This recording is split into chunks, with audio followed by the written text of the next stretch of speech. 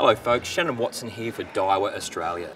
Now there's always been plenty of fans of the heavy duty Catalina range of spin reels. You might remember we not long ago released the new version and guess what? We've now got the bad boy, the big 6500 size coming through very shortly. It's going to be available in a high speed version so it'll be perfect for those GT popping guys or anyone that wants a high speed, super heavy duty spinning reel. Again, this one has the fantastic mag feature, the mag seal up in the rotor there to prevent all that water penetration getting around the rotor. Check it out, it's on its way.